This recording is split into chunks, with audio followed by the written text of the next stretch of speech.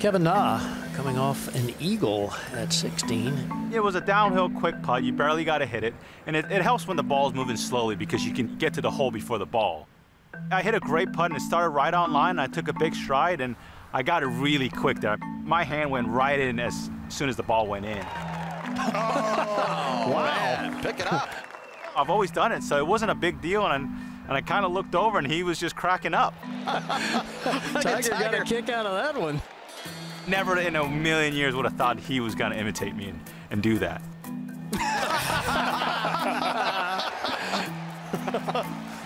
I said, oh my God, I can't believe Tiger just, the GOAT just did that.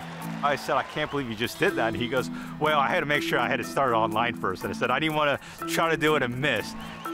That's a great picture right there. Look at those two.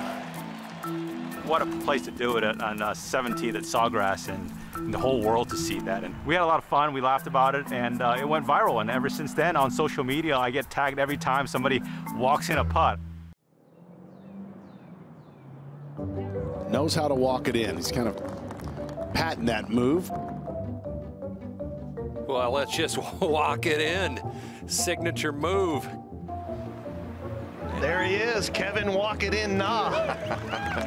started in junior golf we always see guys raise the putter and start walking, but you never see really someone chase after the hole.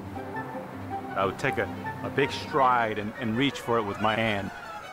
And maybe it's time to just start, you know, leaving his putting stance right after he makes contact on every stroke.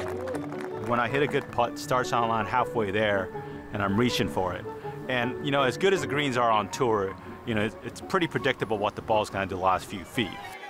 Started the walk about six feet out. He knew that one was dead center. It's great for birdie putts, and even on a par putt, you do it, it kind of gets you pumped up, going to the next hole. For me, I think it helps me play a little bit more aggressive.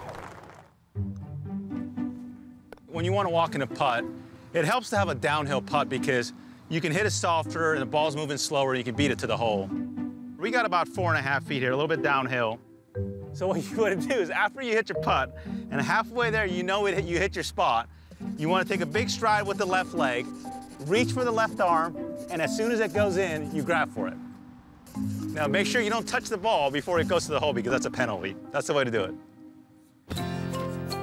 At BMW last year, I hit a putt on 16, and it was like 10 feet away, and I was hopping towards the ball.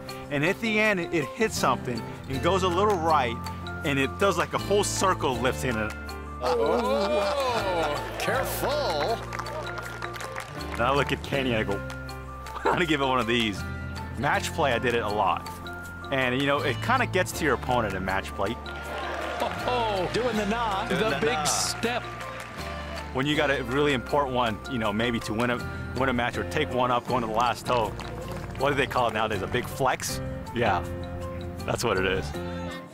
Did it anyway, just for style points. Why not?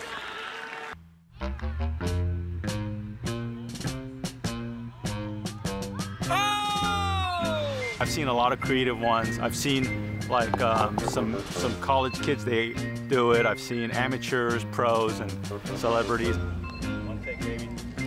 Oh, I've seen guys miss, and everybody's laughing. You know, fellow players are laughing, and you know, missing is kind of funny too.